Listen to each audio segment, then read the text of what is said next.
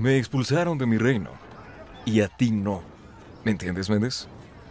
Ser un abogado, lo tengo. Estoy diciendo que eres un jugador nato. Está en tu sangre. Eso es racista. En tu alma. Eso es racista. ¿Tus ojos? Eso es gay. Eso es homofóbico. Eso es negro. Eso es racista. Coño.